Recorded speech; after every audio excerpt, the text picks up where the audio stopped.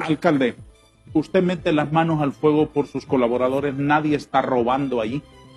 Señor, nosotros hemos tenido una mística desde el primer día eh, por, por- por nuestra propia razón de estar. Enséñeme sus manos.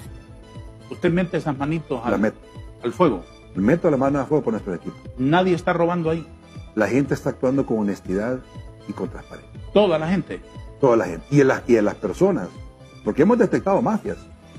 Yo se le conté la mafia que detectamos la primera semana. Donde yo ni, ni había eh, ni había ni siquiera inscrito mi firma. Y le eliminó. Eliminó. Claro. Lo, y lo- denunciamos al Ministerio Público. ¿Y qué pasó después? No, las personas sa- sa- salieron y atacaron. Era una mafia que estaba falsificando los permisos de ¿Y el. Ministerio Público avanzó eso? Actuó, claro. Claro que actuó y se, se desmanteló esa mafia. que ¿Y están sancionados penalmente?